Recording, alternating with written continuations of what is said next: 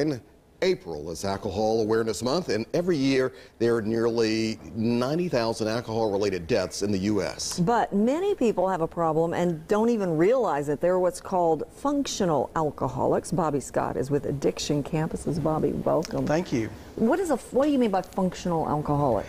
Well, what we mean is people who may have a problem that they're not aware of. Mm-hmm. They're able to go to work every day. Mm-hmm. They're able to have good relationships.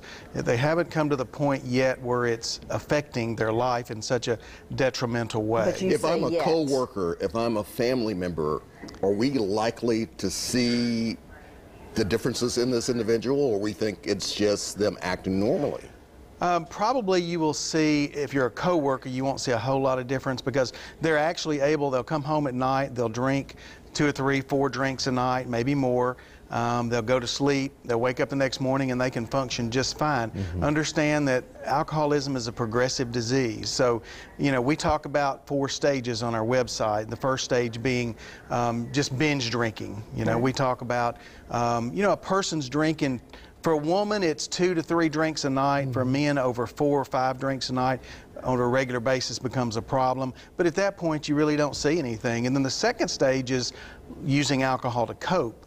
Um, you know, they're stressed, they come home, they just had a rough day, maybe they drink a little more than they should. And it's not to the third stage where you start to see problems develop, um, like Which relationships, DUIs, those kind of things. Okay, that might be when you're calling in sick or you're Exactly. consistently late. You said the word yet. It's not affecting you yet.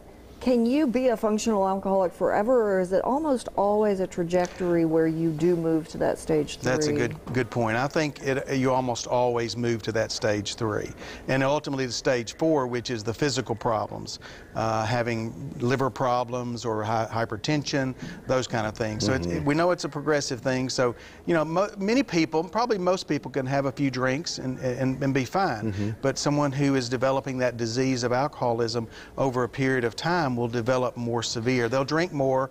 Uh, they won't be able to stop. They'll build a tolerance. They'll they'll do things like, uh, well, I'll, I'll only have two drinks, but then they end up with four, or five, or six drinks. Let me also put this in perspective for us, if you will. Uh, obviously, you explained how this can affect the, the individual, but what about others around that individual as well? Absolutely, they become distant from family, distant from family members.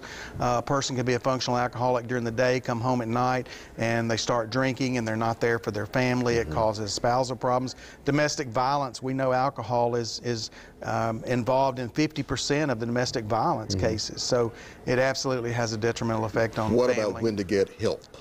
Um, when to get help is as soon as they realize there's a problem. And unfortunately, many of these functional alcoholics don't realize there's a problem until they get to stage three or four. So a family member may see it though before them, and they can maybe try to intervene. And they, a family member can call our hotline or call our, our, our corporate office and home office, our call center. We have specialists there that can help them filter through that. Is it as simple as if there's no signs of anything wrong, but every night you're having four drinks? Yes. Uh, That's a problem, That's right? a it sounds like even if you're mindlessly doing it, you're not really coming home and saying, "Oh my God, I need a drink. I've had such a bad day," but you're just every night doing it. That's, a problem. absolutely that's a problem. Wow. Again, based on the number of drinks, typically. Okay. Uh, for women, it's we find it's two to three. For men, it's four or five. And over about 14 over a period of a week's period, may seem it may be that you have a problem, and it's probably time to look at some help. And we're not just talking about hard liquor. We could be talking about four or five glasses of wine. absolutely, beer? Yeah. absolutly. Wow, I Absolutely. bet a, Something to think a about wake for up sure. call for It a is. lot of folks. It is. Thank you. We will Thank link you so much. website so Great. Thank you for having help. We us. appreciate you being here. You're welcome.